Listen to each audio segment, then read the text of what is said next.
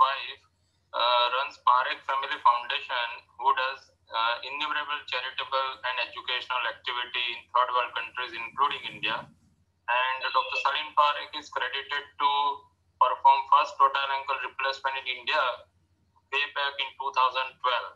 And almost every year he is doing ankle replacements in India in the uh,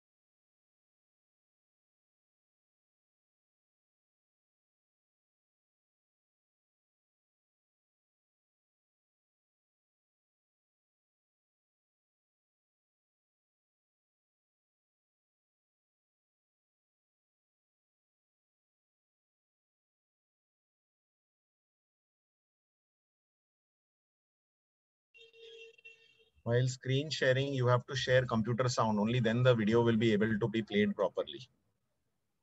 So you have to stop the screen share now and then restart the screen share.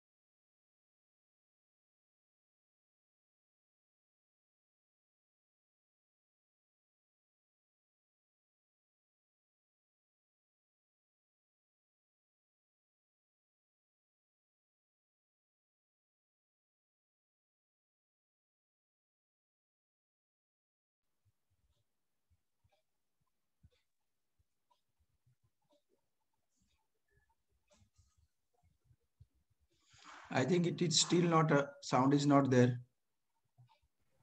Uh, who's sharing the screen? I can give him instruction. He's not doing it properly. Uh, Alpesh, who is sharing the screen? I'm, I'm sharing it. Sudeep here. um, and then the smart watch. So we've come a long way uh, into the 21st century with technology really advancing. Sudeep bhai, Uh, please share yes. please share the screen please. So mm And nahi when you have to share the screen usme niche ek option rehta hai share computer sound. Okay. And optimize for video clip. You have to tick both. Only then the sound will come. Fine fine. Got it.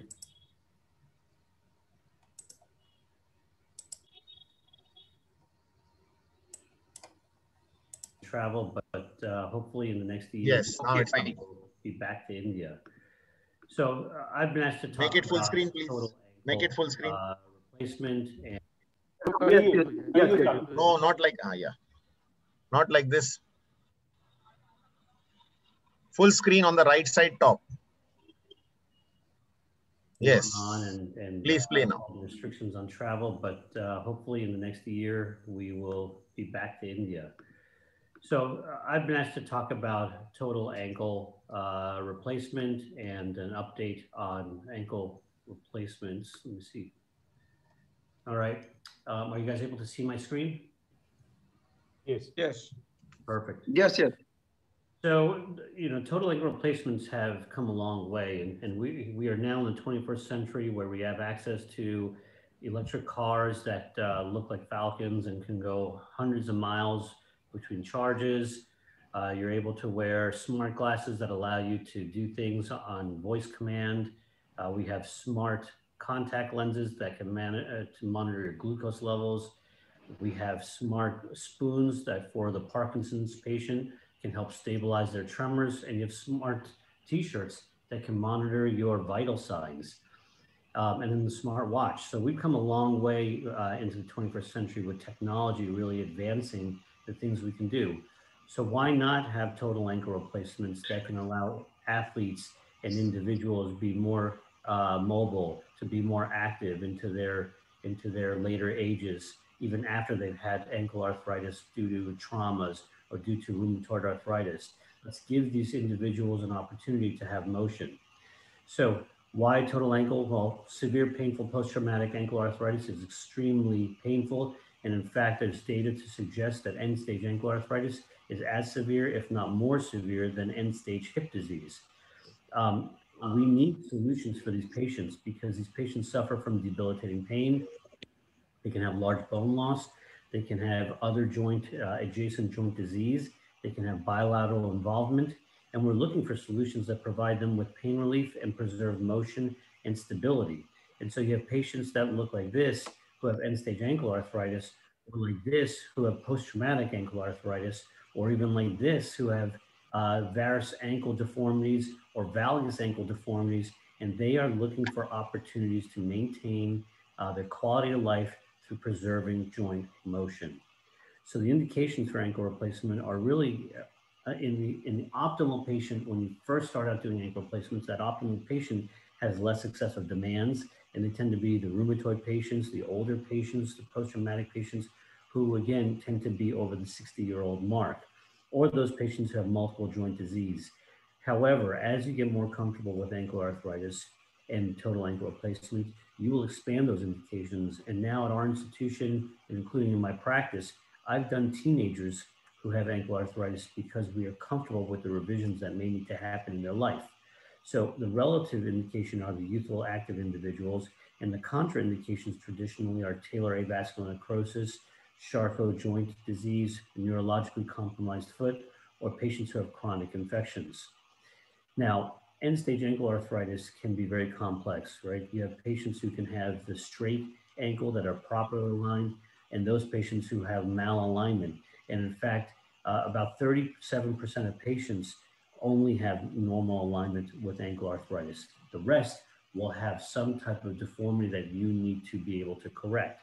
So you have to be able to and be comfortable to do adjacent joint or adjacent or, or, or concomitant uh, foot and ankle procedures to help balance that ankle when you do the uh, total ankle replacement. You've got to appreciate the deformities both on the AP view with varus and valgus, but also on that sagittal view where you can see sagittal malalignment where the talus can be subluxed anterior or posteriorly. So how do we do these ankle replacements? Well, here's a 360 degree camera of the setup in my operating room. And it's it's got a lot of individuals in there, not only the surgical team, but we also have the rep, the, the team from the companies or the reps, as we call them, to help support the case. And then uh, you, you've got the sterile uh, back table, which has all of the sets open for whatever we're thinking about doing. And when we look at ankle replacements, we've come a long way uh, and it's evolved. When we first started doing these, you had these these uh, uh, half ankle replacements that had a poly on the other side, which had tibial component loosening over time. And as it loosened, the, the talus could rattle and end up with a, um, a malleolar fracture.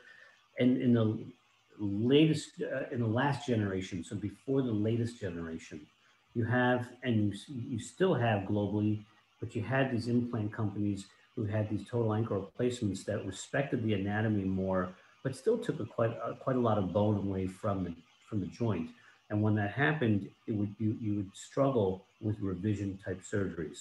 So the common issues we saw in the previous generation, right before this latest generation, were tibial trays causing fibular impingement because these were not anatomic implants.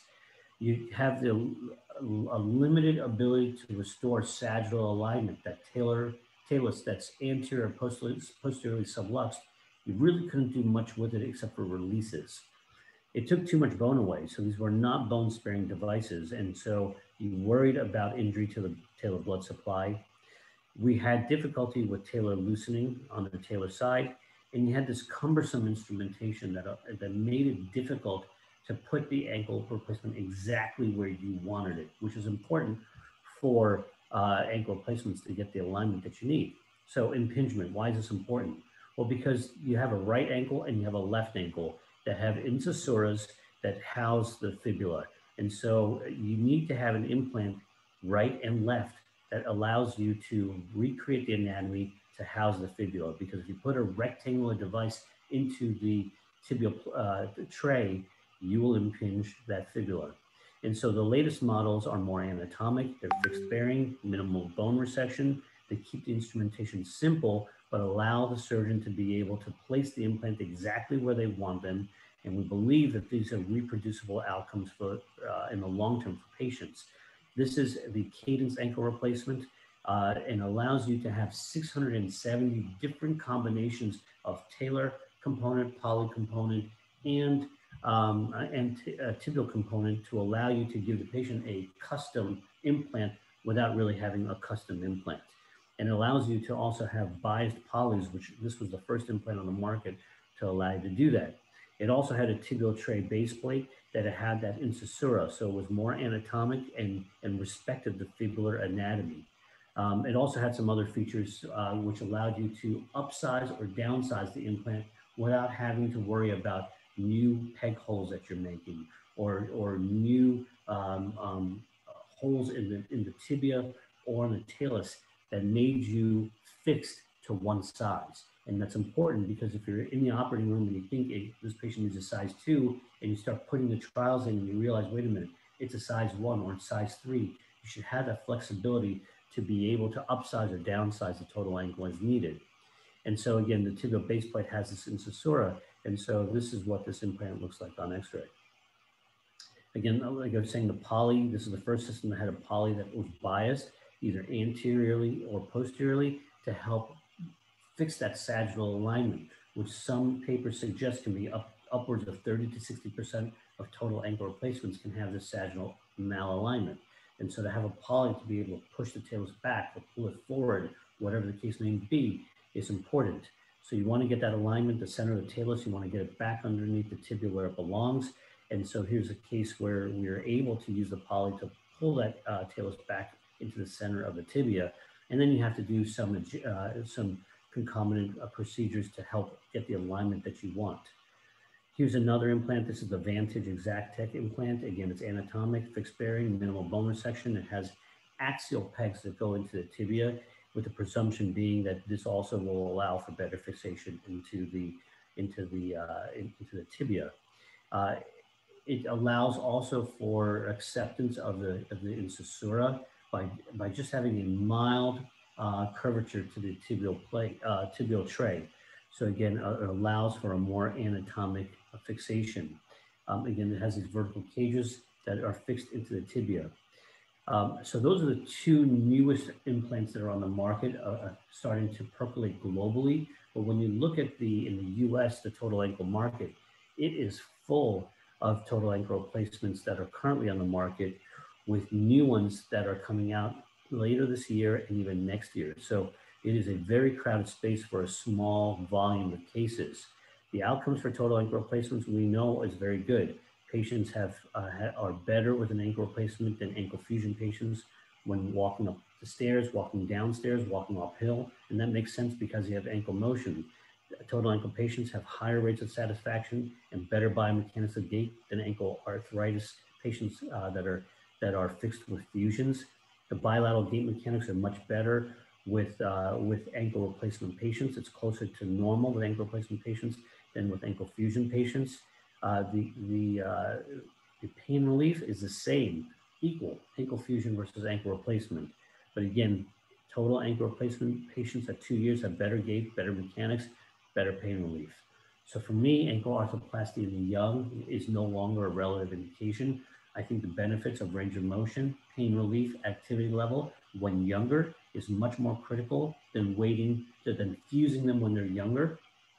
And then when they're older, trying to take that take down that fusion and give them an ankle replacement. To me, that doesn't make sense. And that used to be the prevalent school of thought that you fuse them when they're early, you take it down when they're or, or older. And, and when you fuse them, you no longer move the muscles that are in and around the, the ankle. And so as they get atrophy to 10 or 15 years later, then try to take down the ankle replacement and try to give patients motion again really never made sense to me. So here's one of my patients who in her early 20s uh, got an ankle replacement.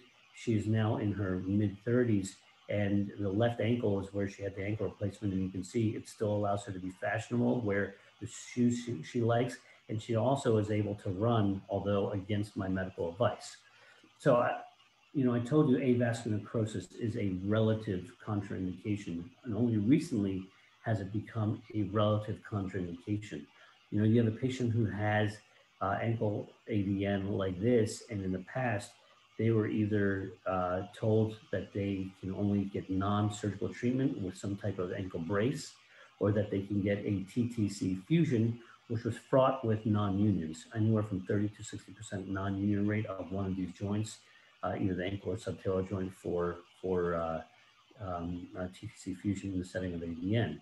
So the challenge of AVN is, is that it's, it's hard to treat. 75% of the time, AVN is due to trauma. 90% of talar neck fractures go on to develop uh, AVN. And this has actually become, at least in the US, a little bit more of interest in the last few days because Tiger Woods um, unfortunately had a serious injury to his lower extremity. One of those injuries was a talar uh, talar fracture. We don't know if it was talar neck or body, but the point is it has elevated this discussion in the US temporarily uh, in uh, AVN. 25% of atraumatic patients, 25% uh, of AVN patients are atraumatic, and that can be due to sickle cell disease, exposure to corticosteroids at some point in their life, uh, patients who've had a failed ankle replacement who developed AVN of the talus and, and then led to uh, an ankle replacement uh, failure. And then you have your idiopathic cases where we don't really know why they're developing AVN. So the indication for a total talus is patients who have talar AVN, talus non-unions, talar collapse after ankle replacement. Patients who have had subchondroplasties done. This is a product that is in the market um, where uh, we used to believe that if you had talar edema, you could actually stabilize that talar edema um, with calcium phosphate. What our group has noticed and has now published is that oftentimes these patients end up with talar AVN because that calcium phosphate has choked off the blood vessels in the talus and now led to talar AVN. The relative indication for total talus is that youthful active individual, but I'll share with you some cases that we've done in up to 14 year olds. And then the contraindications are the same as total ankle replacement, the Charcot patients, the neurologically compromised foot, or patients who have chronic infections. And so here's a 19 year old girl who had a CML as a young teenager. She was exposed to prednisone as a young teenager. Five years later, she has AVN and continued pain bilaterally and you can see on this uh, MRI, both uh, up on the upper left as well as the lower right, that she has significant AVN, not only her talus, but distal tibia, and even somewhat in her calcaneus. And so uh, the father lives in another state, finds us on social media and, and, realizes what we're doing, reaches out to me and says, hey, you know, is there any motion sparing option you can provide my daughter? So here's a total talus that we are planning um, on CAD drawings. And how we do this is same thing as an ankle replacement. We go in through the standard anterior approach. We take a wedge out of the talar neck. And so that separates the body from the head. It also disrupts the interosseous ligament. So now that the body and, and, and allows the body and the talar head to be loose and mobile. We then go ahead and take out the talar head and then the body to the left. And when the first time you do this, it is amazing to look at the anatomy of the posterior facet on the calcaneus uh, which is a, a, view that most of us have never seen before. And then we have these trials. So using the CT scan, the company uh, can, can out the exact replica of this patient's anatomy, either using their affected limb if the anatomy is intact, or using the contralateral side if the anatomy is not intact, and then obviously doing a mirror image to, uh, to, to provide the, the talus. And so you have these trials of the of the normal size talus, and then uh, we also have 10% decrease and 10% increase in size. And so we get a tray with these trials and, and, the, and the total talus, which used to be silver, which was cobalt chromium, and now we have an option on these gold ones that are titanium nitride, which we believe uh, uh, wears better against the cartilage. And when you put these taluses in and you have the right size, it's almost like a bipolar hip where you hear, hear the thud, you'll hear thud into the joint. And that's when you know you have the right size. And if you look at this motion, I mean, this is unparalleled motion, whether it's for, for ankle, uh, total ankle, you just don't see this type of motion. Um, and, and, it's pretty remarkable what these patients can get back. And so, you know, we, we initially started doing this on patients who had restricted AVN in, uh, in the talus without associated adjacent joint arthritis. But then we started getting more sophisticated and I started getting a little more bold, taking on those patients who had AVN who also had ankle arthritis. And so here's a patient who came in to see me from uh, uh, uh Hawaii, and he has bad ankle arthritis, a sublux uh, talus, and also avascular necrosis. But we can now take a total talus, take care of their AVN, put in an ankle replacement. So this talus is, is, is matched to the total ankle and allow us to replace his ankle, give him a new talus. He maintains motion, gets pain relief, and, and actually has an active life. This is a patient who is now three months out from her total talus and uh, against my advice, started doing box jumps. So this is jumps where you, are on the floor, you jump up on a box, you jump down on the, on the floor, you jump back up even higher, you jump back down. So she's doing impact activities which we don't want these total ankle or total talus patients to do three months out from surgery because she's feeling so great. It's pretty amazing to see these patients function. Um, here's a patient who has AVN with ankle arthritis and subtalar arthritis, and we can now do total taluses with an ankle replacement with subtalar fusions. And so we're getting more and more sophisticated as to what we can address. Here's a patient with AVN, subtalar uh, arthritis, ankle arthritis, but also a varus deformity and a fixed varus deformity.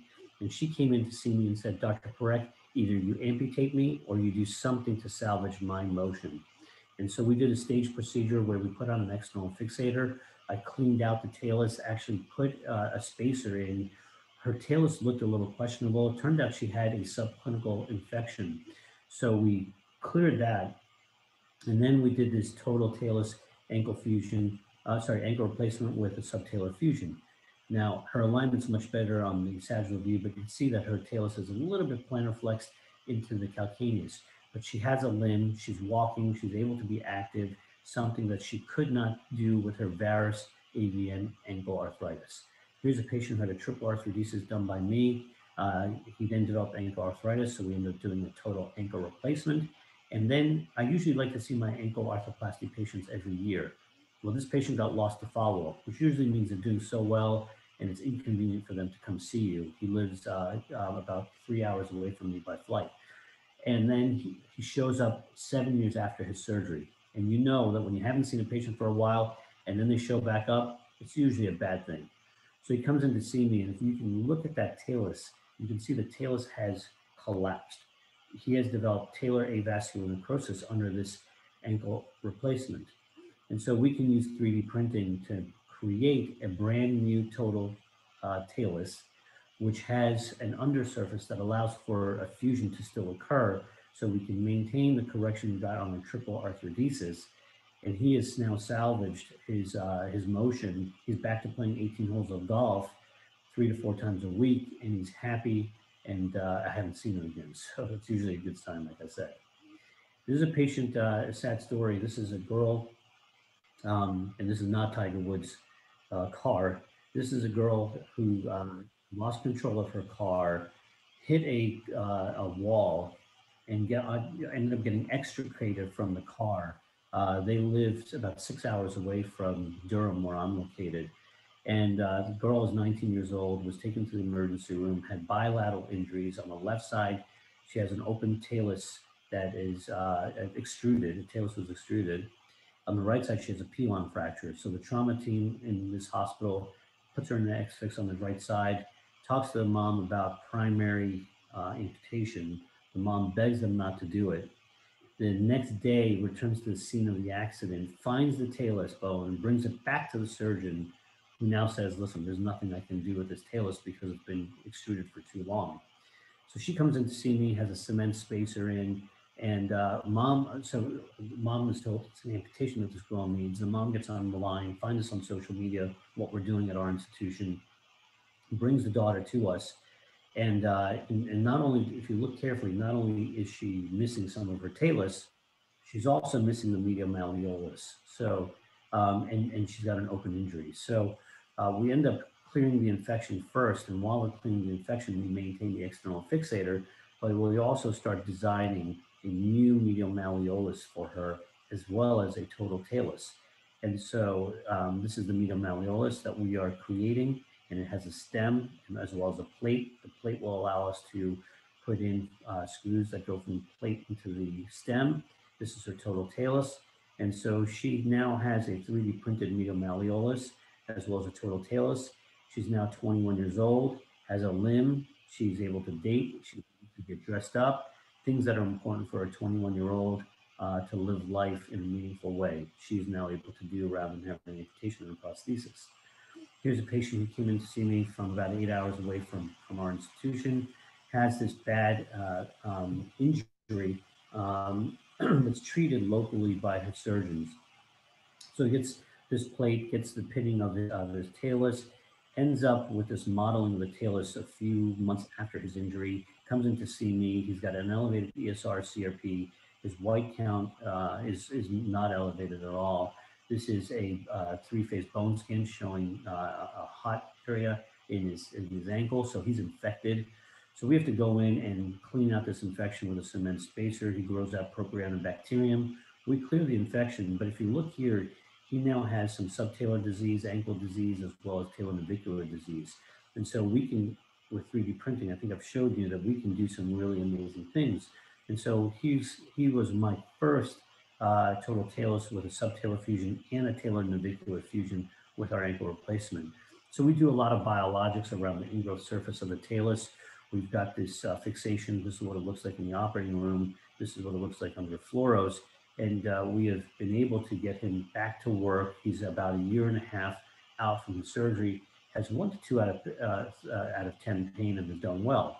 So we always hear, uh, you know, we're an academic institution. We're interested in looking at the data, and we always hear, you know, how do these patients really do? So our first paper, we wanted to look at patients who've been about 12 months uh, with their total talus, but we wanted to look at if we really restore their anatomy. So this is our first 14 patients, um, and a lot of these talar uh, talar patients collapse, so they lose their height. And so um, we know that now through this paper, we know that we can restore their height. This is statistically significant. And we can also restore their talar tilt. So as they get collapsed, you can imagine the plafond, the tails can start uh, getting malaligned. and we can restore that uh, uh, through the through the total taluses. And that makes sense. And this is statistically significant restoration of their anatomy. So from this data, we know that total taluses can restore anatomy um, and they can allow us to have viable options uh, for patients who have uh, talar AVN. But what about their function? So this is the first 15 patients of ours that passed the 12 month mark, uh, patients who have talar AVN. Um, and, and we look at their preoperative uh, foot and ankle orthopedic scores versus their postoperative. And you can see here in the green bars, every single green bar is further beyond the blue bar, which means that pain, their symptoms, their sports and recreation activities, their activities of daily living, and their quality of life metrics have all improved uh, that are statistically significant. And now we've, we've started looking at our two-year data. All right, so these are patients who are now past the two-year mark. Uh, the average is 22.2 months, and uh, the mean age of these patients is 43 year olds, 43 years old, with AVN. Their ankle range of motion is uh, uh, post-op is this, uh, similar to their pre-op, but I'll tell you that I, I, think that this is probably not accurate because when I see them, they have better motion. We've done invasive uh, and controlling uh, procedures to help get them some of that motion. More importantly, their visual analog pain scores has, have improved, and this is statistically significant. So if they're living on average at a seven beforehand, after surgery, they're at a three. Most are, I'll tell you about a one or two, but the average is about three. Their FAOS, FAOS scores continue to be improved from pain, symptoms, quality of life, their activities of daily living.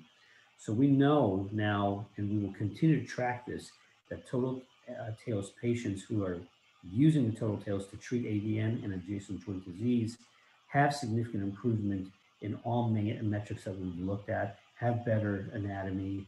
We are going to continue to follow this, this uh, patient uh, population. Um, we are now over about 100 of these patients in our database, more than any other place in the world for 3D printed total TAOSes. But again, this is the tip of the iceberg. We're offering options where patients didn't have options before, and we're giving them hope.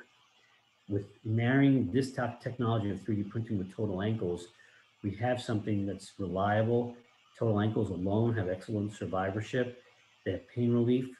This is a versatile solution for this patient population. But again, the future here is going to be 3D printing, really giving these patients uh, um, very anatomic solutions for their disease states. Thanks.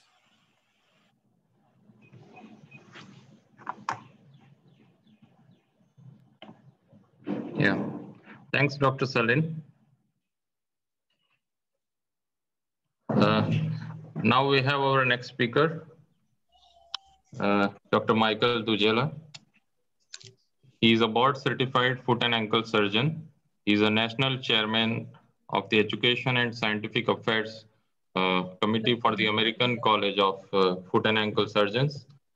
He is executive board of the Global Foot and Ankle Community, and he is a surgical faculty Providence St. Peter Family Medicine Residency Program. And uh, he'll be talking on newer dimensions of management for chronic foot and ankle disorders. Thank you. How do I share my screen here with you all?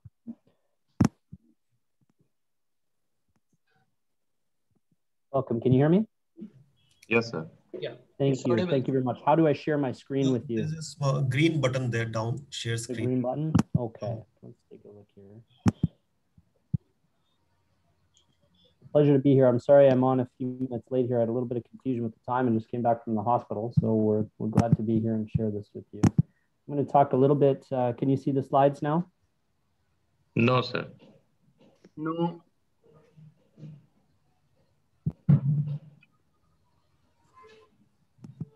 Even alter plus S would also share your screen, Michael.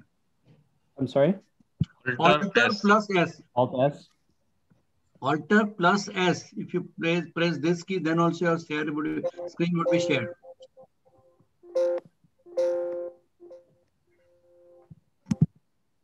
Can you see that? Yes. Yes. Yes. Okay. How about Just that? Perfect? Yes, Dr. Yes, perfect. Yes, sure. Okay, Perfect. very good. Thank you. Thanks for being patient with me. Uh, Dr. Rajiv Shah has uh, asked me to talk. I'm, I'm pleased to be with you in the Baroda Orthopedic Association in your city and uh, some very fine faculty from the Indian Orthopedic Foot and Ankle Society. I'm very uh, pleased about that affiliation that we've uh, garnered over the last few years.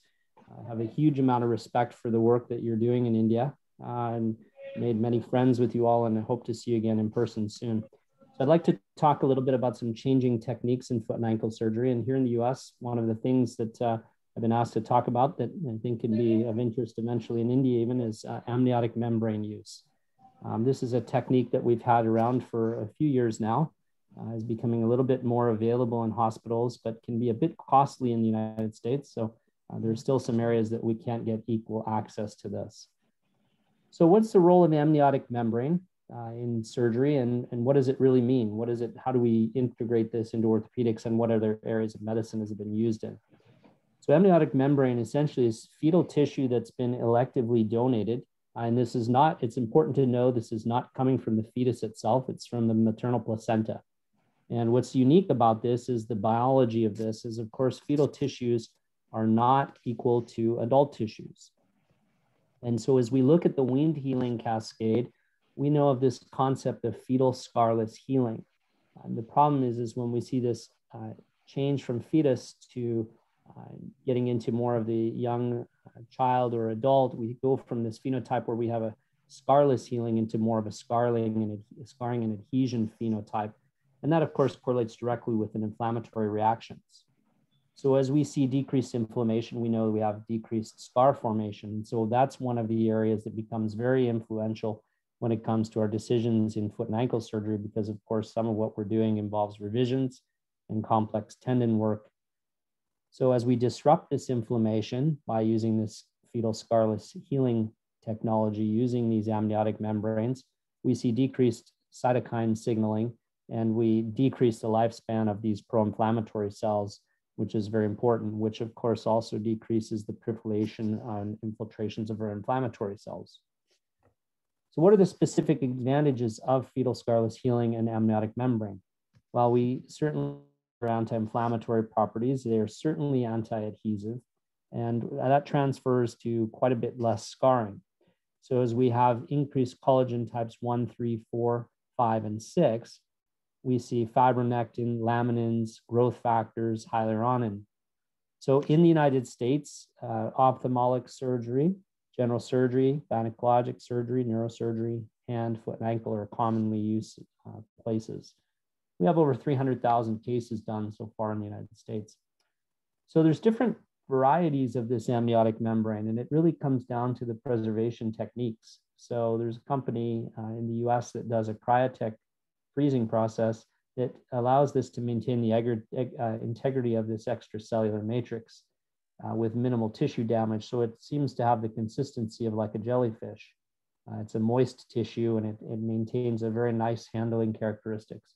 There are other types uh, out there that are uh, stored in a hypertonic salt solution. And then there is some loss of function in those and they're quite a bit more dry. They're almost like uh, seaweed type textures you would see in sushi. So amniotic membrane, again, cryopreserved techniques, about 130,000 of these uh, at the time that I wrote this talk, now over 300,000. There's 300 publications out there. And what's nice is it prevents rejection. Uh, we see regenerative growth and there's actually a physical barrier and we'll take a look at some of these. So where do I use this in foot and ankle surgery and where is this potential? So oftentimes between the tendon sheath and or sheath in the skin, anywhere where there's raw bone, if we've resected bone or hardware, under scar-prone incisions, revisional surgeries, particularly things like revisional peroneal tendons or posterior tibial tendon surgeries. And it has a nice role also uh, when we're dealing with any nerve type surgery, such as tarsal tunnel syndrome. So how do we utilize this? Well, we can do a wrap type technique around a structure such as a tendon. We call that a burrito technique, uh, where we're wrapping it around the structure. We can interpose it in between layers, where we would put it, for example, between tendon and sheath or even sheath in the skin if we need a barrier. And in some cases, we do an onlay between the bone and the soft tissue. So there's different sizes, and you can see the uh, sheath here, the sheath in this uh, ankle case. It's got kind of this gelatinous type appearance, but you can see you can you can suture it intact. It's got some uh, integrity to it. It's not very flimsy. And so here, let's take a look at some different foot and ankle applications and some specifics. So primary and revision surgery. So not just revisional procedures, but even in some of our primary cases that we have where we consider a high risk for scarring, posterior tibial tendon again, peroneals are fraught with complications and uh, surgery such as tarsal tunnel, as I mentioned. Tarsal coalitions is another nice place to interpose uh, to create a barrier. Hallux rigidus, where we're concerned about rubbing and grinding of the bone, Freiberg's infraction, the second metatarsal, in some cases in total ankle replacement. So let's take a look at some specific uh, areas here. We'll talk about hallux limitus, hallux rigidus. So arthritis of the first metatarsal phalangeal joint. So we know there's a role. This is an example here of an advanced arthritic joint. Many people would fuse this. You can see that Clarix amniotic graft there. And we know that scarring is a predictor of limited range of motion. And these types of surgeries, limited range of motion equi is equivalent to poor outcomes. So where motion is important, this is something that we would consider. If we're looking just at our decision making with cheilectomy, we know that we have predictable success with the earlier grades of hallux rigidus, stage one and two under Coughlin and classification.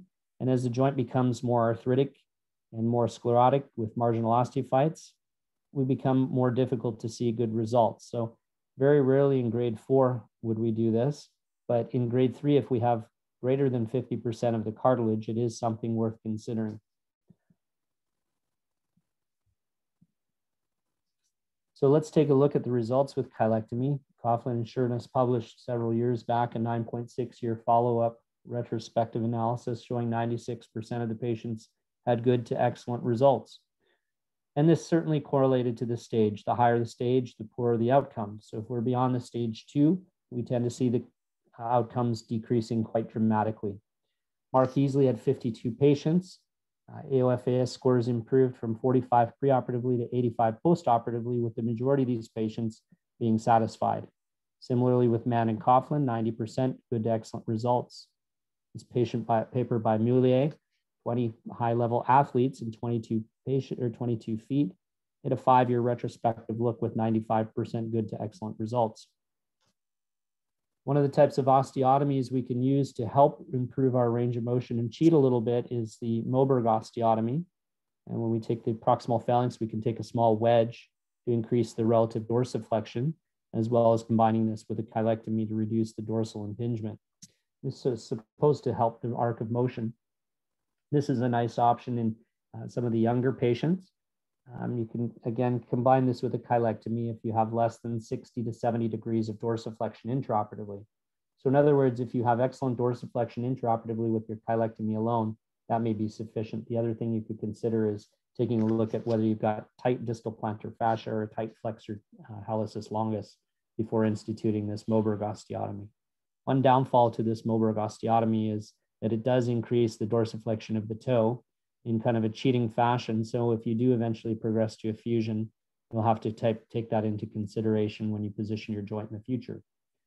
So looking at the results of the Moberg osteotomy, 57 patients with a three-year follow-up of Mark Easley had 90% satisfaction, noting reasonable increase in dorsiflexion. So decision-making, grade one, cheilectomy. Grade two, as we get into fairly significant arthritic changes, cheilectomy, and if we don't have 60 to 70 degrees of dorsiflexion on the table, we'll consider a Moberg osteotomy. And then grade three, if it's fairly advanced bone on bone arthritis, and particularly in my hands, if I see the arthritic changes at the central portion of the metatarsal head, the first metatarsal head, or extending into the inferior aspect, or if we see significant sesamoid involvement, these tend to have a poor prognosis, and I'm more likely to do an arthrodesis procedure. So looking at the results with fusion, uh, Coughlin and Shurnas again, 6.7 year follow-up.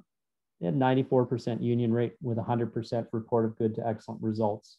Not only increased propulsion, enhanced stability, and stability incurs all the way through the medial column of the foot, not just to the great toe joint. Let's take a look at some specific case using the amniotic membrane. So this is a case of cheilectomy. You can see fairly advanced stage two, almost a stage three first metatarsal phalangeal joint arthrodesis with a large dorsal osteophyte or dorsal flag sign. Intraoperatively, we would call this a parachute technique. You can see where we've removed the dorsal, probably 20 to 30% of the articular sur uh, surface that's been eburnated or the cartilage has been eaten away by arthritic change. And we've interposed the uh, amniotic membrane in between the joint and, and we will suture that in place, but also we've laid that in between the metatarsal head and the sesamoid apparatus where there's some arthritic change to try and create a little bit of a physical buffer or barrier. And you can see what that looks like in an onlay type of uh, application. So rather than an implant within the joint, but just an onlay to help improve range of motion to minimize the scarring over the joint where we want to try to improve our range of motion post-operatively. Um, this is an example here of the uh, parachute type technique as an interpositional arthroplasty or anchovy type technique. Here's using a uh, Moberg type osteotomy, and you can see how that's created uh, with a uh, plantarly based or plantarly apexed wedge, uh, where you try to gradually feather that so you can dorsiflex it and you can fix it either with screws, small or small staple or a tiny plate. Here's an example where you could use this in a revision of a failed implant that was converted to a fusion. This is aseptic loosening and subsidence of a large total toe. and you can see the large bone that's uh, void that's created. So creation there of a dowel type uh, autograft to fill in that, and then using large dorsal locking plate to stabilize the site. And this would be a very nice uh, place to apply uh, amniotic membrane. Here's an osteochondral defect of the first metatarsal phalangeal joint. You can see centrally here, we have a full thickness osteochondral defect, which you can see intraoperatively here. And we've treated this similarly what we would do in a talus, where we've removed the unstable fragment and the unstable underlying bone down to healthy bleeding bone. In this particular case, uh, we're using a technology, I'm not certain if this is available in India, but it's the juvenile particulated cartilage cells.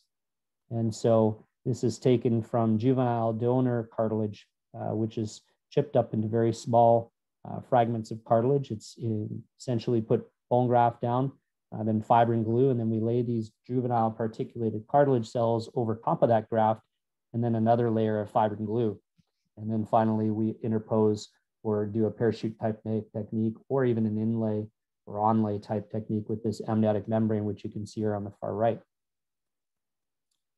Again, tarsal tunnel syndrome is another place where we're seeing difficulties with postoperative scar trouble. Here in the US, very few people are doing tarsal tunnel surgical releases anymore because it's fraught with complications and very significant rate of medical legal complications here where a lot of people are being sued over poor outcomes associated with these surgeries.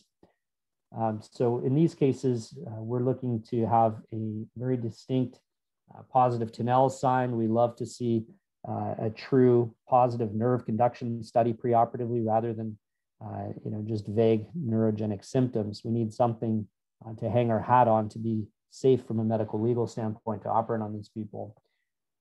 In patients who have discrete space occupying lesions, if they have, for example, varicosities or you know, enlarged distally based um, extra muscle belly in this case, uh, or um, for example, some type of space occupying MASH, some type of tumor, these do quite well with tarsal tunnel, and most of these seem to have a very nice full recovery. If there's any obvious damage to the nerve itself, obviously we have variable recovery. And we like to know that we have objective data. Uh, the problem is a lot of the neurologists and here in the US, physiatrists, which would be like a combination of a orthopedic medicine doctor and a neurologist, they're quite good with axial skeletal things, but when it comes to uh, getting adequate nerve conduction velocity testing of the distal extremities, and particularly when you start trying to differentiate the distal tarsal tunnel from first branch of the lateral plantar nerve and differentiating Baxter's neuritis from the distal tarsal tunnel, they have very poor uh, ability to kind of differentiate that. So we have to be a bit cautious. So how do we improve our outcomes? We need to have our uh, targeted home runs here. Uh, people who have a positive uh, sign, uh, people who have a positive nerve conduction velocity testing, people who have a definite point of entrapment, for example, with a space occupying lesion. And then, of course, an early decompression seems to do better than waiting a long time with these folks. And then a complete release uh, rather than just simply releasing the laciniate ligament uh, over the tarsal tunnel seems to do much better, particularly as we can get distal and release the abductor hallucis uh, muscle fascia, the deep fascia where it compresses the nerve. Let's take a look here. Uh, if we're looking at the surgical outcomes, literature varies between about 42 to 85% success rate. Again, often better objective improvements than subjective. A lot of these patients still have difficulties. And again, releasing that abductor fascia is very important. So you can see here the delineation of the different branches and the vascularity. But of course, that's something that's potentially fraught with issues associated with scarring. Also in diabetic neuropathy here in the US, there are some tarsal tunnel surgical releases being done. There's, this is not a new concept, 20 years of literature. In these patients, a Tinel sign is imperative, so it doesn't seem to do very well in patients who just have vague diabetic neuropathy or sensory neuropathy alone without actual tarsal tunnel type symptoms. So people like Lee Dellon have written extensively on this topic. Excuse me, and the success rate varies from 50 to 92% although there is a higher percentage of these patients who seem to get pain relief. So early preclinical evidence suggests that uh, regenerative properties are quite good, in fact, comparable to autografts in, in a rat model. And we know that the amniotic membrane has anti-adhesive properties, and it shows decreased adhesion and scarring in the rat sciatic and rabbit ulnar nerve models. So there is some definite uh, data in the animal world. So anterior tarsal tunnel syndrome uh, this is another instance. uh, deep peroneal nerve decompression and, and uh, inlay in the dorsal aspect of the foot. Here's an example of uh, tarsal tunnel release here. The incision's carried out, carried down distally. And you identify that superficial fascia and you go through there and you reflect down the abductor hallucis muscle. We develop those borders and we release that deep fascia. We recognize our neurovascular bundle, looking for any varicosities and looking at the nerve itself for any change. So you notice a little bit careful about how much release we do here, not so much digging around, but you can see here that deep fascia as we're uh, reflecting the abductor hallucis muscle down. You'll see if I, if I can point to that right here, this deep fascia right in that area, and the muscles kind of pull down. This really compresses down against that nerve here as it kind of traverses into the plantar aspect of the foot. So that's one of the key points. And then pulling the muscle in a proximal direction uh, allows that neurovascular bundle to move freely into the bottom of the foot once you've released both on the outer. So we'll release it on this side and then come around the back side and release it deep under there. So ideally, you'd like to be able to pass your fifth finger slightly underneath that muscle. So we're looking proximal for any other fibrous septae as well. So once that's all decompressed and we've branched that all out, we want to make sure there's nothing involving the medial calcaneal nerve. And then we'll drop our tourniquet and make sure that there's no excessive bleeding. This is an example of passing the uh, Mayo scissors or Metzenbaum scissors rather deep to that abductor hallucis muscle as it traverses the neurovascular bundle underneath the foot. And this is where we'll interpose that uh, amniotic membrane inside there. And again, this is a 57 year old female here who had a previous unsuccessful tarsal tunnel release distally. So for more of a distal tarsal tunnel and Baxter's nerve entrapment, you can see the abductor hallucis muscle clearly here where the deep fascia covering over top of it has been sectioned. And you can see here the neurovascular bundle. And so we should be able to pull this muscle down now and release the fascia on the back side of that. And that's really a lot of times where people fall short is they don't release this fascia adequately. So tarsal coalitions, uh, I'm sure in India you see some tarsal coalitions. Uh, true incidence maybe a little bit higher than, thought, than previously thought. Uh, looking at these cadaveric specimens in this study by Solomon, about 12.7% of them actually showed some form of tarsal coalition. And so this is a patient here. You can see left versus right. There's clear limitation in subtalar joint range of motion and mid-tarsal range of motion.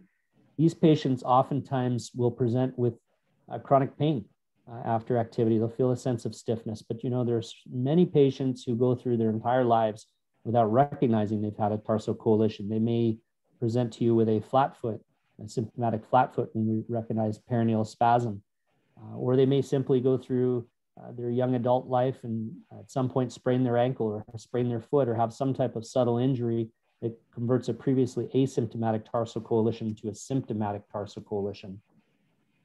Definitely different variants. This is taking a look at a middle facet coalition, that obliquity that we see here on CT.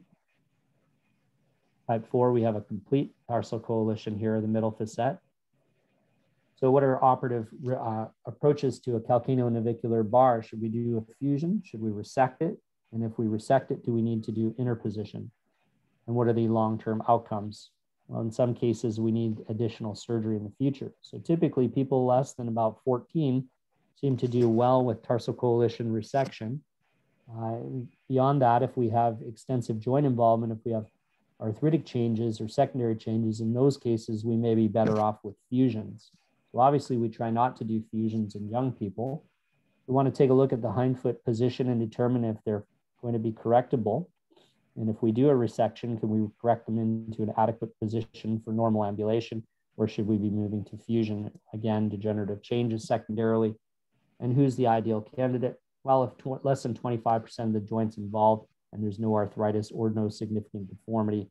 And if you're able to correct the deformity with periarticular osteotomies, doing things like an Evans calcaneal osteotomy is a very popular approach here in the US, uh, possibly a medial calcaneal displacement osteotomy, in the, even in the same setting, we oftentimes do both. I did two cases yesterday of a combination of both the medial calcaneal displacement and Evans lateral column lengthening.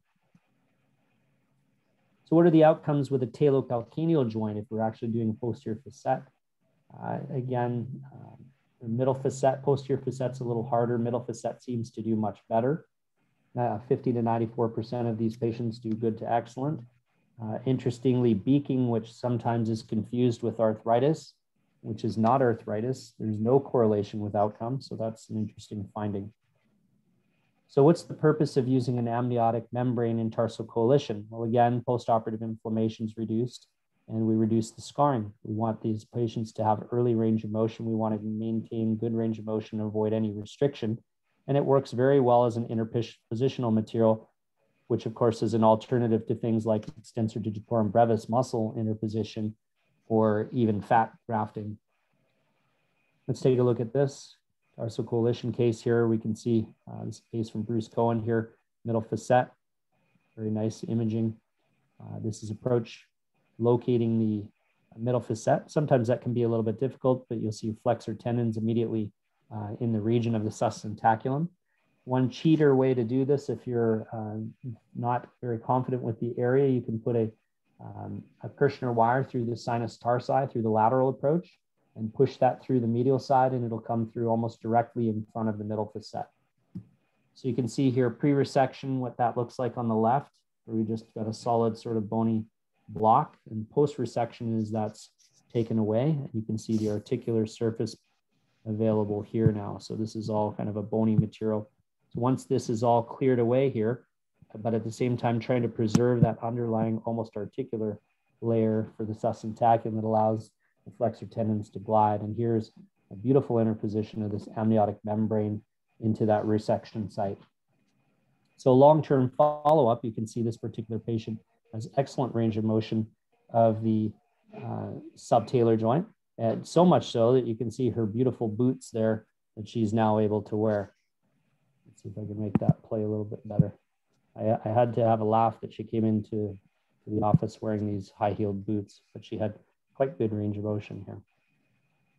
Calcaneonavicular bar resection. This is an example of somewhere where we're interposing the extensor digitorum brevis muscle so again, a dorsolateral incision, we take this large trapezoidal portion of bone, uh, take that out and we wanna maintain that area because it does have a tendency to try to uh, grow back together. So we wanna do a very generous resection. And then again, you can see here this amniotic membrane placed into all those nooks and crannies to prevent a physical barrier. Interestingly, we do see a fairly high rate of wound issues using inter extensor digitorum brevis muscle and uh, bone wax, mainly because of the bleeding associated with the EDB. Um, graft can be inlaid there again, and it can also be combined with the extensor digitorum brevis. But we seem to have fairly good outcomes with that. So Achilles tendon surgery, uh, tendinosis is always a big challenge.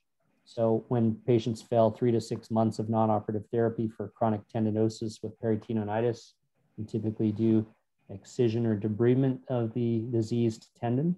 And we take a full thickness central core of degenerative tissue out, and then we excise down to healthy uh, tendon. And this is an example here of taking out that diseased central portion and then doing an inlay graft with this amniotic membrane to reduce adhesions, and it's just sewn over top. Here's an example of an onlay graft after this has been centrally excised, the tendon's repaired, and then the graft is laid on top of that. Peroneal tendon surgery, fairly effective for uh, non-operative treatment of peroneus brevis tears. We find these often as an incidental finding on MRI. Many times patients come to us with some other vague complaint in their ankle, and we notice an incidental finding of a peroneus brevis tendon. Most of these people in our hands uh, seem to have uh, non-operative treatment initially for several months, uh, but eventually many of those people fail, particularly if they have hindfoot malalignment where they get continued degenerative changes. Many of those are not traumatic in nature, but just a chronic hindfoot malalignment such as hindfoot varus where they get a degenerative tendinopathy. So this Krause classification, grade one is if it's involving less than 50%, grade two if it's involving more than 50%. Peroneus longus tears tend to be a little bit less common. We see these in a different location in terms of symptoms. The peroneus brevis oftentimes in the retrofibular groove or just slightly distal to the tip of the fibula, whereas the peroneus longus tends to be in the area of the peroneal tubercle or just slightly distal on the lateral wall of the calcaneus and also into the area under the cuboid groove where it dives into the bottom of the foot in the cuboid tunnel. These patients will have pain and weakness with range of motion and eversion of the hind foot or plantar flexion of the first ray. Painful os peroneum syndrome, another diagnosis. This is sometimes a bit difficult uh, to treat difficult even to diagnose in some cases. We'll see this oftentimes combined with peroneus longus tendinopathy, where the peroneus or, or the um, os peroneum becomes symptomatic and you need to decompress and debride the tendon as well as remove that pathologic os. Here's a os peroneum syndrome with a peroneus longus tear. And this you can see is a transfer of longus to brevis. And then there's an interposition between the two tendons there. Peroneal subluxation, this is a very common thing that we see uh, associated with skiers and snowboarders here in the US. And you can see a superior peroneal retinaculum is a little bit root loose or torn away from uh, chronic injury. The tendon is repaired in a um, tubularized fashion after debriding it. The superior peroneal retinaculum is uh, repaired over top of the amniotic membrane, which we can see here. So we'll repair this entire layer, oftentimes with a fiber sutured tape as well for augmentation.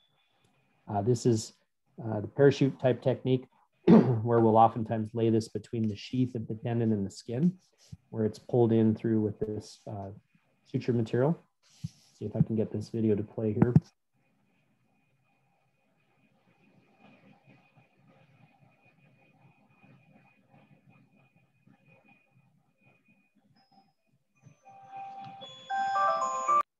You can see his little suture material here.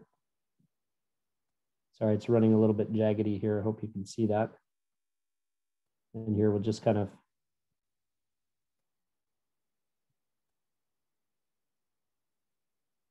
see as that kind of slides in in that little barrier there.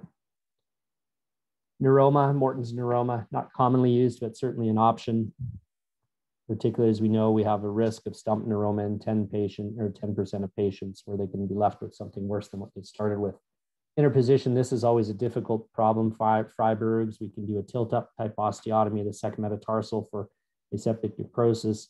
Uh, but sometimes those joints are fairly uh, degenerative, and this makes a nice interpositional material, certainly better than an implant.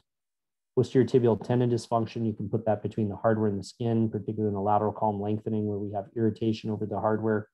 In some cases, if we're using a plate for Evans osteotomy, Fiddle ankle replacement, again, this doesn't always have to be a barrier, but just the almost similar to what Infuse does, where we have um, cellular signaling. This does the same thing, where if it's in the area, it decreases inflammation. So it doesn't have to be a physical barrier. Here's a case of a 16 year old male who chopped the top of his foot with an axe while splitting wood. Uh, he came in after being sutured up in the emergency room without re recognizing the uh, extent of his injury. And you can see here he underwent a repair of the EHL tendon. And then postoperatively, unfortunately, he developed a recurrent rupture when he tripped and fell. You can see that torn through. So revision and then a burrito wrap with the amniotic membrane. And we can see if we can make this play here. While we post-operatively, we can see beautiful range of motion and uh, no issues with scarring or adhesions, which you would expect after a, a revision type tendon surgery there. Also some interest in treating things such as plantar fasciitis and wounds. Uh, there are quite a few of the wound care centers here that are using it. Um, this is a patient who had a, a, medial wound following total ankle replacement. Of course, we know that's a high risk area for wounds. Uh, the patient was treated here for uh, looks like about 28 days and then completely healed. So again, why amniotic membrane? Uh, looking at newer technologies, reduce scarring and inflammation, regenerative properties, uh, more than 25 year history here in the US, but becoming more frequently used. Uh, over 300 publications and close to 300,000 implantations to date. This is a very costly technology here in the US. Uh, I shudder to tell you that they can cost upwards of $2,000 for a single graft, 2,000 US dollars. Um, I'd be interested to know if this is available in India at all. Thank you. Yeah, thank you, Michael for this wonderful presentation and uh, uh, it was really inspiring, but definitely the cost is a major limiting factor. And uh, we have a few questions. One question from Dr. Aditya Agrawal, and he's asking about the allergic reactions from uh, uh, this method. Do you have any incidence of allergic Yeah, reactions? that's a that's a great question. I've not seen a single incidence of an allergic reaction or graft rejection. Truthfully, not a single evidence of that. Okay. And uh, have you observed any regenerative properties in humans? As you have shown that in animals, they have shown the regenerative properties in rats and not yeah, the, the data is not not strong at this point for regenerative properties. But of course, if you're looking at things like ophthalmic surgery, there's quite a bit of literature regarding the eye and some some promising results in the eye. Okay. And uh, how do you compare the results with the Cartiva in hallux rigidus? Yeah, Cartiva, the is very- synthetic that's uh, very cartilage. interesting. That's very interesting. Is Cartiva available in India now? Uh, no. No. You know, I think we were all very excited when Cartiva came to market, especially with this level one study uh, that came out with from people like Alastair Younger. Um, you know, I, I ran into Murray Penner a few years ago, I guess about a year and a half ago now, and he told me he'd stopped using it. I've done a few Cartiva cases myself. Uh, they're all still in. I have no uh, explants at this point. But with that said, I think Cartiva is completely losing favor here in the US. I think that that product is not long to be in the armamentarium of, of you know, up to date foot and ankle surgeons. I gave a talk at our national surgical meeting this past year looking at that, and the failure rates are pretty dismal. Um, there's a good paper that just came out of Los Angeles not long ago looking at the failure rate, and it's high. And what we see is you get a significant inflammatory reaction or lucency around the implant uh, where you start to get loosening. I've seen cases where they've extruded and come through the top of the foot where they're almost poking through the top of the foot. And we're seeing a huge number of legal cases with this as well. I have a friend who just contacted me and told me he has six cases currently that he's defending where surgeons are being sued over the Cartiva. So, you know, the idea is, is we're leaving these implants a little bit more proud to act as a physical buffer, but uh, nevertheless, they're just not doing well. And we've even experimented with putting a screw proximal to them to act as a, as a buffer so they can't subside because subsidence is an issue with them. But uh, I'm, I'm not impressed. I, I would say I've got to leave three in, they're still there and fair results at best. Uh, a question from uh, a question from uh, Dr. Rajiv. Uh, are there any studies uh, showing favorable use of amniotic membrane over fat graft and bone wax in coalition? I'm sorry, I, I didn't quite understand that last part.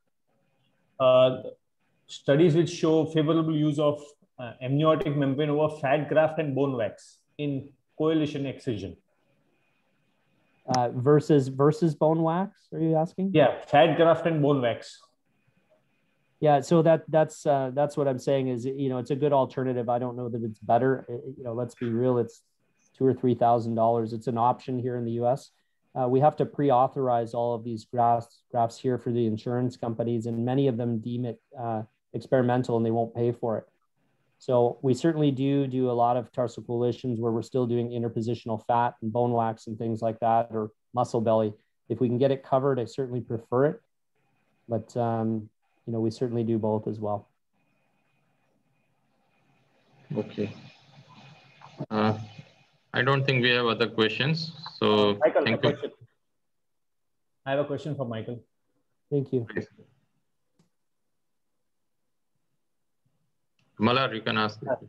Yeah, Michael, uh, we in the residency used to use the fresh uh, placental membrane over uh, open dressings in the uh, in surgical cases. Oh, that's Do great. think- Yeah, tell Yeah, me about do it. you think that uh, do you think something similar because that was not say sterile it was just from the gynec uh, the obs uh, patient we used to get that placental membrane so do you think um, that that sort of a thing could work uh, to the something amniotic uh, membrane which you are talking about Well, this is it. It's it's the it's the placental membrane, right? So I think it's very similar. You know, it the question is is disease transmission and sterilization process and things, and that's always difficult. So Okay. tell me about your success with that. I'm curious to know. That's that's really fascinating. I, I don't uh, we were the students in the surgery uh, term at, at present. At that time, they were using it. So I, I, I'm not the person who was directly using it, but we were we saw them using the placental membrane for open uh, wounds of the limbs. So There's a here comment. also, sorry, go ahead. Yeah, there is a comment uh, by Dr. Asit Mehta that it is being used in corneal ulcers. So it, Corneal ulcers, yeah. Also here, um, foot in Foot and Ankle International, there was an article not long ago out of West Virginia uh, by Bob Santrock that compared uh, plantar fascial injections using the granulated placental membrane that's reconstituted in saline versus corticosteroid injections and found slightly better results with it. So it wasn't strikingly better, but it is something that we're seeing here in the US. okay. So we move on to next talk. Thank you, Dr. Michael. Thank you. Yeah, the next talk is by Dr. Rajiv Shah, our own Dr. Rajiv, who is uh, president of uh, Asia Pacific Foot and Ankle Council and uh, is past president of Indian Foot and Ankle Society and managing director of uh, Sunshine Global Hosp chain of hospitals. And uh, I invite him to take his talk on the innovations in foot and ankle in trauma. Dr. Rajiv. Yeah, if you could allow me to share my screen. Yes. Uh, I hope uh, my screen is visible to you all. Yes, very well visible. Yes, sir. And, uh, Proceed, please. Uh, okay. So change is the way of life. May it be iPhone, notes, car, or the advertisement. And change is also the way of orthopedics. We were going ahead with a primary kind of fusion, and now we have moved to a kind of biological fixation. We at Baroda Orthopedic Associations also had to change. We had one of our speaker who was to speak on sports injury in foot and ankle, Dr. Carlo Borbon, president of Philippines Foot and Ankle Society, who had a medical emergency on his kid and had to really change his schedule and he was not available. And that's why I'm proceeding with this talk. So it's time to change. Let's leave the change. Change definitely is a good thing. So that's what I'm going to talk today. What are the changing newer trends in foot and ankle trauma management? And what has changed? Concepts have changed, techniques have changed, implants have changed, and technology has changed. And let's look forward to all this one after another. So what are the change concepts in foot and ankle trauma management? Now, is this a stable one or is this an unstable one? Uh, isolated lateral malleolus fracture. And we were taught that the medial examination is the key. A swelling on the medial side, ecchymosis on the medial side means unstable lateral malleolar fracture and it requires fixes. But today it is believed that medial examination is unreliable you need to do a gravity stress testing or other stress views to make sure whether this fracture, which looks innocuous on gravity stress testing, opens up, displaces, and there is a medial open clear space. So stress testing is a must to decide about stability of every isolated lateral malleolar fracture we had a concept about posterior malleolus fixation that if it is more than 25% of the tibial articular surface, or if the fracture has depression or the step into the articular surface of more than 3 mm, this requires fixation, may it be from anterior to posterior or posterior to anterior, on maybe it with a screw. But this has changed. And now it is believed that it is not the size of the posterior malleolus. It is the stability of the ankle matters. It is the attachment of strong posterior inferior tibiofibular ligament, syndesmotic ligament, which requires fixation of posterior malleolus from posterior to anterior and preferably with a buttress plate. Syndesmosis, we have had lot of controversies in syndesmosis, but now it is believed that either for a syndesmotic reduction, either you use arthroscopy, but better would be a open reduction where you see it under vision with a two to four centimeter incision at and near the syndesmosis. So this kind of fracture would definitely require a syndesmotic fixation in an open way. So for syndesmosis, the concept is go ahead with open reduction. As far as possible, avoid clamp, use finger for your reduction and soft fixation with a screw fixation is more preferred. And reduction is to be assessed not at the incisura, but at the joint line where you want to see Mercedes-Benz sign. So these are change concept for syndesmotic fixation. Deltoid injuries, we were taught that deltoid injuries are to be treated conservatively. We always learned from the literature that the acute repair of deltoid ligament is not indicated. But if we see the present concepts, it is said that it is better to address deltoid injuries surgically so that you can mobilize the patient fast and the later date complications are avoided. So today, the tune is to do the deltoid repair or reconstruction.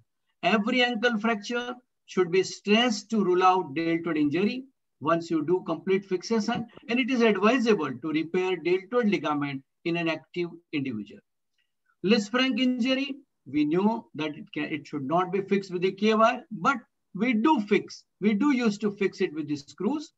Today, it is understood that the bridging plates are better than the screws because these bridge plates do not violate articular cartilage of the small tarsal bones and thereby they really prevent occurrence of later date arthritis. So bridge plates are preferred over the screws. That's a change concept for Lisfranc fixation. Jones fracture, we used to treat it conservatively with plaster immobilization, but it is now believed that intramedullary screw to be used for young, active, and sports population for Jones fracture because it heals with a delay. And so if it is fixed in a sportsman or in a young and active individual with this screw, it gives a better result. Certain fractures, we used to do primary fusion because they were non-reconstructable. Looking at such kind of pilon fractures, it was advised that they are non-reconstructable and you can go ahead and do primary fusion. But like elsewhere in the body, primary fusion is not preferred. It is a fixation which is preferred over the primary fusion in non-reconstructable pilon fractures. Or considering a case of Sanders 4 fracture, I used to believe that Sanders 4 requires primary fusion, but the literature has come up and changed the concept saying that try to fix Sanders 4 calcaneus to the best of your ability so that later date fusion over that reconstructed surface is easier. The another concept change is into the midfoot fractures, which were non-reconstructable, should not be primarily fused, but you try to reconstruct them with a fixation. And that is how, in this case, we did. So like elsewhere in the body, later date fusion is easier if primary reconstruction is carried out for non-reconstructable pilon, calcaneus, and midfoot fractures. Malunited ankle fractures, we should we were treating it with ankle fusion, but it is said that ankle is a very, very important joint and as far as possible, try to follow reconstruction, then fusion, like we did in this case. This lady presented to us at the end of six months with this kind of malunited fracture, which was reconstructed. So reconstruction in ankle fracture, and this are, these are the kind of movements she got after reconstruction of the ankle fracture. So reconstruction of ankle, people have tried up to three, four, five years if there is a local arthritis and there is no global arthritis which has set in. So that was with respect to change concepts in foot and ankle trauma management. Now I'm going to talk about some newer techniques which have come for foot and ankle trauma management. So the most in technique is arthroscopy assisted fixation for all intra-articular fractures to delineate cartilage injury, to do accurate reduction, to delineate injury to the uh, bone osteochondral lesions, ligaments, you need to do an arthroscopy assisted fixation. This female 34 had a road traffic accident. She's a motorcyclist holding Limca book record. And this is how she had her ankle fracture with a impacted articular uh, depression. This was the CT scan like. Intra-articular fracture, a high demand athlete, what next? So for her, we went in for AAORIF, that is arthroscopy assisted open reduction internal fixation. So two, uh, the, the first stage external fixator was put in. We waited for the wrinkles. In the second stage, we went in for uh, an arthroscopy assisted open reduction internal fixation. Two portals were created. This is how the uh, fragment which was lying in the ankle was pushed up and fixed temporarily with the K-wire. This is how osteochondral lesion of the tibia was treated. And then joystick reduction of the fracture followed by definitive fixation with the look into the joint, whether we have reduced it nicely, whether we have reconstructed the articular surface nicely or not. And then final fixation went on. She won the championship of 2018, draw 4,500 kilometers from Assam and came to meet me. This was in 2016. This was in 2018 that she started driving her car and a full range of movement. Another case of pilon fracture, again intra-articular C2, C3 type fractures, arthroscopy assisted open reduction internal fixation, and there were this kind of depressions which are lifted up and articular reduction was reconstructed.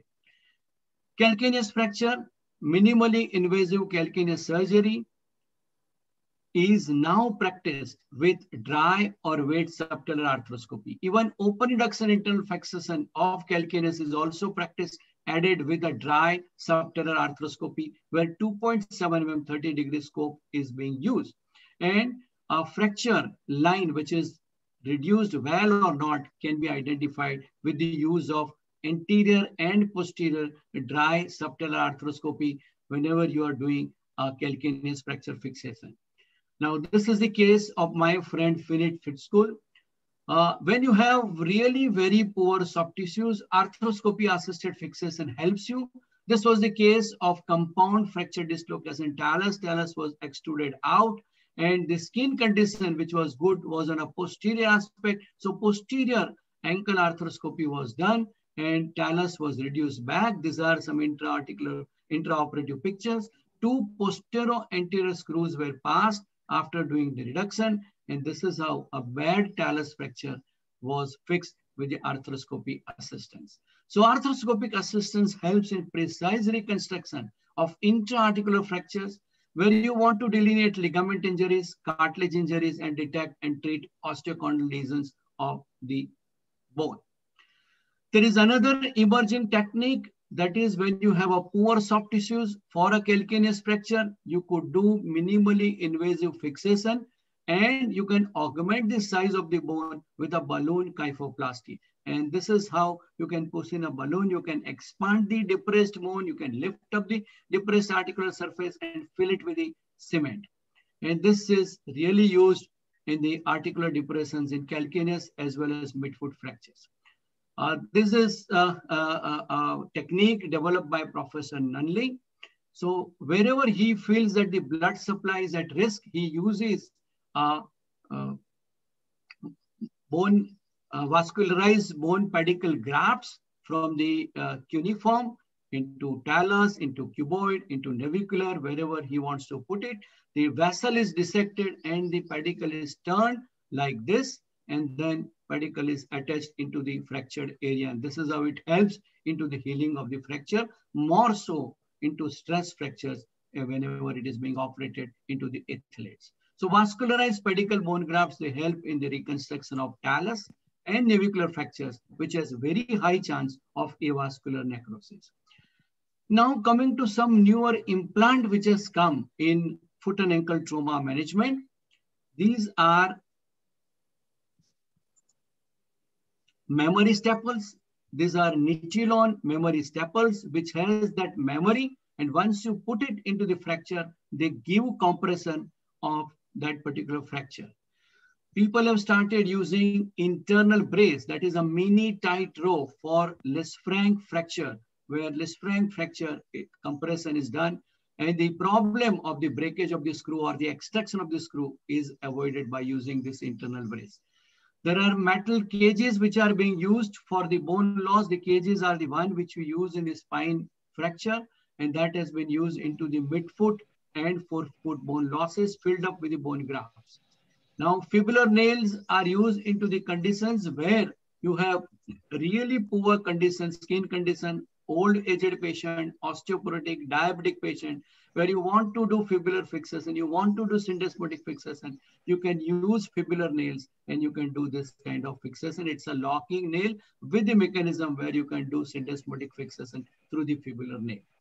Intramedullary nail for calcaneus fracture is in war since long and it is the one which really prevents the later date collapse of the calcaneus fracture. That is what is said. Antibiotic impregnated nails are available for tibio-talo-calcaneal fusion, for defect, for infection. So these are some newer implants which are available in for foot and ankle trauma management. And lastly, I'm going to talk about some newer technologies which has come into foot and ankle trauma management. Very, very important for ankle fractures is intraoperative CT scan. When we think that this fracture is a simple fracture, but it has got uh, injury of syndesmosis. This is how the modified Cotton test looks like with a simple innocuous looking ankle fracture. And this is how the antero-posterior ballottement test looks in. And even if you reduce the syndesmosis well, you are really afraid whether this syndesmosis is well fixed or not, and malreduction chances are quite high. And so, an ideal tool to help surgeon intraoperatively is intraoperative 3D imaging, where you can image intraoperatively to detect malreductions which may go unnoticed under on radiographs or C-arm, especially rotatory malalignment. Some intraarticular implant are there or not, whether implant is pierced intraarticularly or not, you can detect. You can detect loose bodies and you can detect marginal joint infection by intraoperative 3D imaging. Intraoperative CT scan is available for fixation of the ankle fractures at many uh, renowned centers in the world where they do verify syndesmotic reduction before and after syndesmotic fixation through an intraoperative CT scan. Weight-bearing CT scan is another breakthrough technology in foot and ankle uh, orthopedics and trauma because you want to have a visualization in three-dimensional uh, architecture of 28 bones which are there in foot and ankle. You want to really know the angles between this bone, the lines, slopes, everything. And you really want to understand that how trauma has impacted these uh, fractures. And so it has become very, very essential in understanding of Lisfranc injury, more so subtle Lisfranc injury, syndesmotic injury, again, syndesmotic sprains, very, very important and some subtle fractures and some stress fractures in foot and ankle, weight-bearing CT scan is being used. Unfortunately, it is yet not available in India. In weight-bearing CT scan, you could see such kind of subtle Lisfranc subluxation and dislocations. And there is now an international weight-bearing CT society who studies extensively utilization of weight-bearing CT in foot and ankle orthopedics. Allograft replacement for fractures where you have bony defect is being used extensively in foot and ankle. Look at this case, case of a road traffic accident in a young adult who had a crush injury of the foot with compound crush fracture of the talus, that of the medial dome, had a compound comminuted fracture fibula. On day one, debridement was done and this was the kind of picture after debridement on the lateral side. And this were the x-rays when he was referred to us at the end of two weeks. So this were the x-rays, two K-wires were pushed in, and this was the clinical picture. So that was the foot x-ray. CT scan again showed lot of comminution into the medial aspect of the talus, which almost looked like crushed medial side of talus. This were the CT images. Again, coronal imaging. So he went in for the surgery number two, where a debridement was done. External fixator was put in, antibiotic impregnated cement spacer was put in for excised dead pieces of medial talus. Antibiotics were also placed in and vacuum assisted dressing was done. So that was a lateral clinical image after the second surgery, which we did. And then this was a closer view. We put in a VAC application. And this were the x-rays where fibula was fixed with the two K wires and the medial lost part of the talus, talus was replaced with uh, antibiotic impregnated cement spacer. This was the lateral view. And then it went on to heel skin grafting was done over the back area. And this was at the end of six weeks that fixator was removed. Everything looked healed. And then patient was taken for a definitive fixation. So what next? There were problems like precarious soft tissue envelope, segmentally short fibula with comminution and bone loss, and 55% of the talar body was lost. How to replace? And then there was a shell of the neck with a fracture of the neck of talus, how to fix. And these all problems were solved with where precarious soft tissue envelope, we went in for a medial approach and lateral approach was at the anterior border of the fibula. And segmental short fibula plus comminution was treated with restoration of the fibular length under syndesmotic fixation and bone grafting. 55% of the talar body which was lost was replaced with allograft talus of almost matching size. This was the allograft talus received. And then this was the spacer which was removed and that into which uh, allograft talus which was shaped like a lost medial part of the talar body was kept in and fixed with the two screws. And we did match the ankle surface to of the graft with the ankle surface of original bone. Posterior shell of the neck of talus was treated with cancellous bone grafting and fixation of the screws. And ultimately, this was the final result.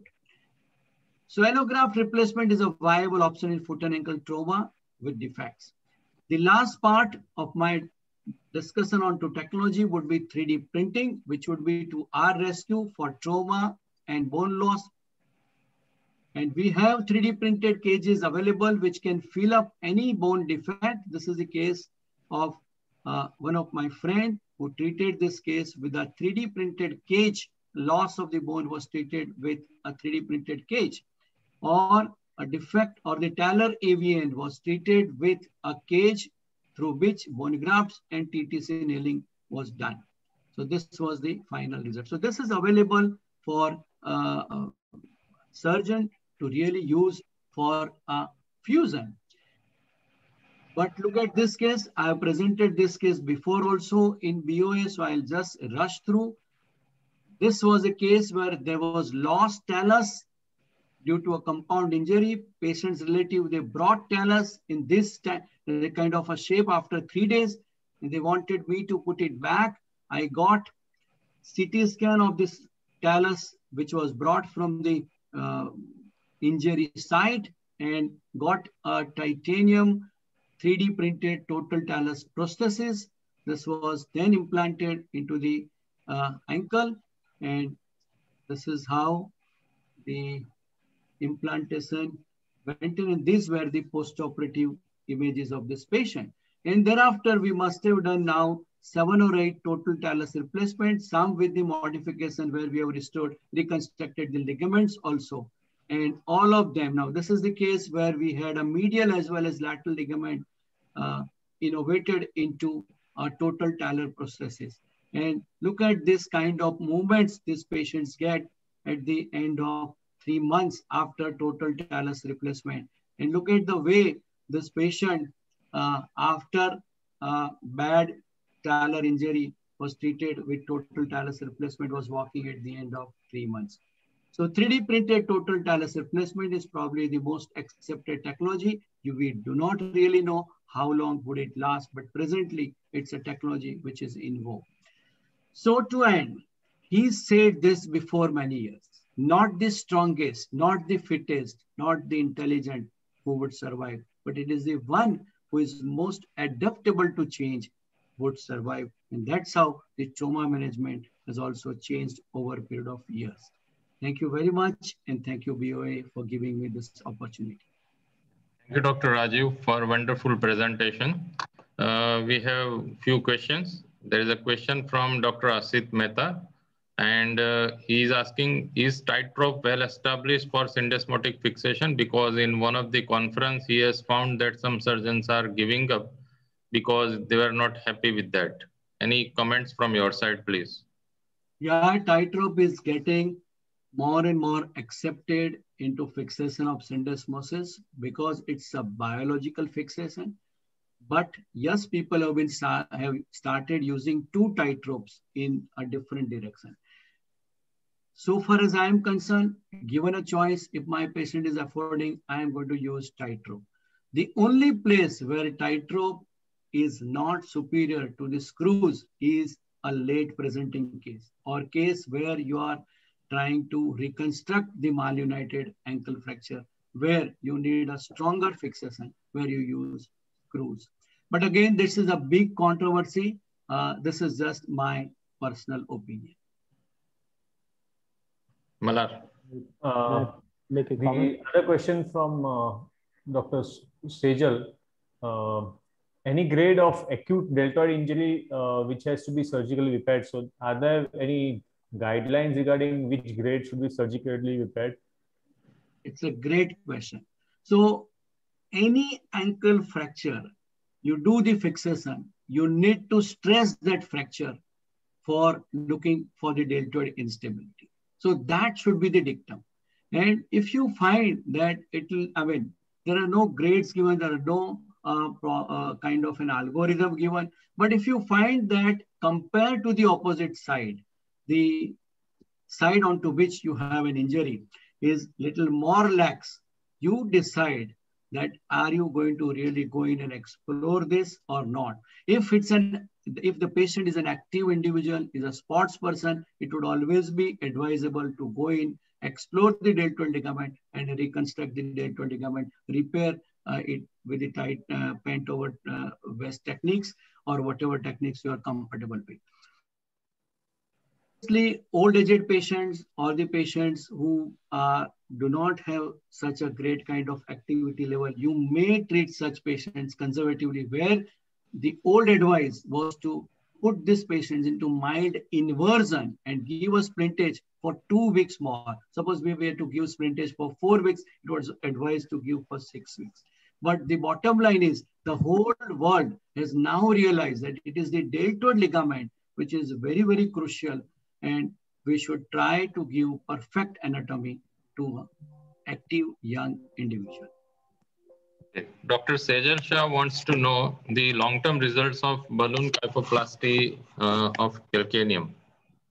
Yeah, long-term results of balloon kyphoplasty are not yet published in the literature, but many of the people who started doing it, they have stopped it because you really cannot reconstruct calcaneus into a complete three-dimensional uh, three-dimensional kind of uh, uh, shape and size.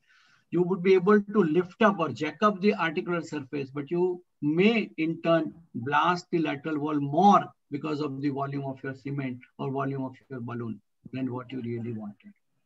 So Uh, results are available. Many of the workers who started it have left it. Like I know my friend Dr. Selene Parekh started it with great enthusiasm and he has now stopped it.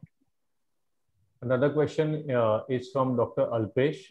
What are the long-term uh, results and complications of post uh, uh, total talus replacement? Uh, the talus replacement which I have done, they're all 3D printed total talus replacement. There's only one study which has been published by Selene Parekh, that two of 14 cases, and that has got two years survivorship.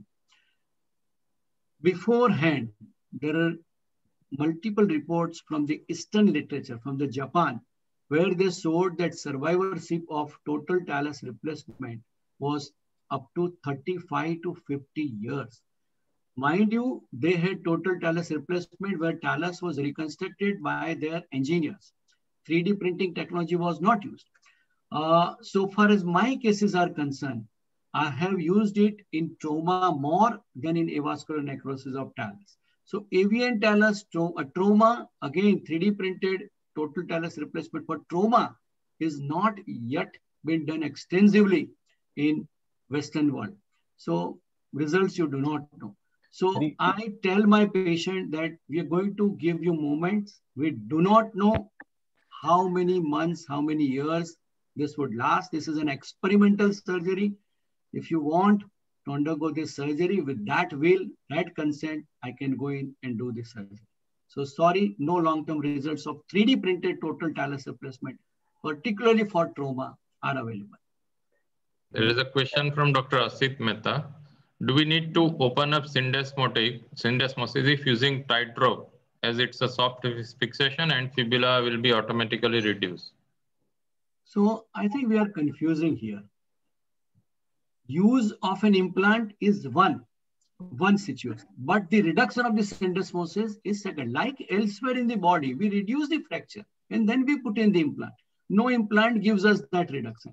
Tightrope is to be put in as a positional device.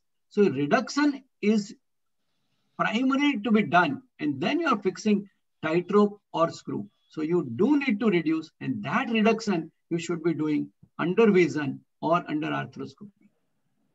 Another, que uh, another question is, do you recommend MRI in ankle injuries in addition to CT scan to know the ligament status? Not really. The only case where or only type of cases where I advise MRI in ankle fractures is one when I see flak of the bone on the lateral side.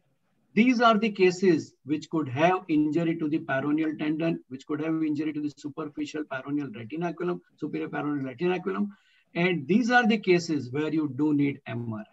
Very, very rarely, if you have a subtle kind of syndesmotic injury in a high ankle sprain, you might require your patient to undergo MRI examination.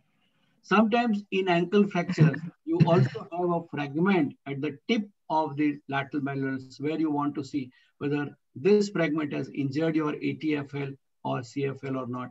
That time also you can think of MRI. Yeah, in your present, yeah, please, Mular. Uh, Rajiv uh, regarding total talus replacement, is there a difference between the ceramic, which the Japanese uh, uh, literature mentions, and the titanium ones? Yeah. So Japanese initial all cases they did were with the titanium. And so their first study was with by and large titanium implant. Thereafter, they started using ceramic since the ceramic uh, came as a, very good uh, implant uh, uh, kind of a metal. So there are no comparative studies by them between a ceramic and titanium. So far as world is concerned, world over, in the Eastern world as well as Western world, whatever total talus are being uh, uh, produced, they are titanium metal, not ceramic. Regarding the use of allografts, what precautions we need to uh, observe while using the allograft and uh, uh, what type of special consent we have to take from the patients and are there any medical legal issues while using the allograft? So I will answer the last question first. There are no medical legal issues so that you can use allograft uh, uh, uh, in every patient, whomsoever patient gives contact, cons consent. There is a special consent which is being taken by the authorities who give this allograft. So uh, I typically get this allograft from Ramaiah Medical College, Bangalore. So they have a fixed format of consent given to them by DGCI, and this consent they're taking from every patient whenever allograft is being used. Allograft transportation is a very, very important thing. And once they supply us the allograft, you have to use it within 24 hours. So the problem is like you're getting it from Bangalore and with the lockdown, you don't have so number of good number of flights. You have to send a person who will go personally take, I mean, take the delivery of allograft, would come down to Bangalore to Ahmedabad and from Ahmedabad to Baroda by car. And then once you receive it, once that is delivered, you have to operate and use that allograft within 24 hours. So you might have to start your surgery early in the morning. And before you start using it, you need to wash it thoroughly with the saline and then dip it into saline plus gentamicin solution. So that's what precaution, as a precaution you do need to take. Okay, like while showing the syndesmotic fixation, you specifically told that clamp should not be used. Now, can you explain the logic behind not using the clamp and what if we use it, what can happen? Yeah. So what is most important when we are using the clamp is clamp has to be on the surface of the bone. And if you see the image into the C-arm, clamp, the tip of the clamp should be facing flush to the bone. It should not be anterior or posterior. So that's one important thing. Second thing, clamp has to be put in in the direction of syndesmotic screw or tightrope. So that is posterolateral to anteromedial. So if you misfire into putting such a kind of clamp and then you compress, the clamp would uh, push fibula anteriorly or posteriorly. So there are studies which have come up and shown that the clamp could be the reason for malreduction. And so majority of the people have stopped using clamp. Uh, if you want to use a clamp, make sure that your clamp is properly positioned and your fibula do not slide anteriorly or posteriorly by use of clamp. Typically, I use clamp for my cases which are late presenting cases or suppose I am reconstructing the ankle fracture, I am going to use a clamp. But whenever I'm using a clamp, I do take some precaution. I put, I reduce the syndesmosis, put a syndesmotic reduction holding wire, and then I put an anterior blocking wire, which is flush to the anterior cortex of the fibula, which will not allow fibula to slide up whenever I'm pushing my, whenever I'm, I'm, I'm tightening my clamp, it is keeping that fibula flush and is not sliding anteriorly. So whenever, if you're using a clamp, make sure that your fibula do not slide upwards or downwards because the ballottement of the fibula is more or the uh, anteroposterior ballottement of the fibula is more than the mediolateral ballottement. That is what we all know about syndesmotic injuries. Uh, I think uh, any more questions from the attendees? Okay. Uh, uh, Sejal, can you uh, please uh, yeah round of the meeting? Yes, yes, yes. Uh, thanks a lot. Uh, thanks everybody. Uh, I would like to end the meeting with uh, one of the few very good quote. Live as if, live as if you were not to die tomorrow, and learn, learn as if you were to live forever. This is by the famous quote by the Gandhiji, and I would like to thank uh, international faculty, particularly Dr. Selene Parekh from the USA and Dr. Michael for uh, giving a wonderful session on the foot and ankle. ankle. And uh, I'm also thankful to the moderator, uh, Nikesh and Malhar, and uh, very much thankful to Dr. Raju Bhai for sharing the excellent knowledge and motivate us to walk on the path on our own feet to the success. Thank you. Thank you, everybody. And thank you, Pharmed. And thank you particularly to the Mahesh Bhai, uh, Dr. Panchal sir, Dr. Bakshi, Rajesh Bakshi, Dr. Anil Bhai, also to participate in the pre-session. Uh, and thanks Team BOA and thanks to all. Thank you very much. Need just one minute. Yeah. Yes. Sir. Yes, sir. Sir, on behalf of Pharmed, I would like to thanks to uh, Baroda Orthopedic Association and all the dignitaries of the association and also the guest speaker. So on behalf of Pharmed, I just uh, conveying my sincere thanks for giving us the platform. You're welcome. Thank you. Thank you, everyone. I'm just closing the session. Yeah. Yes.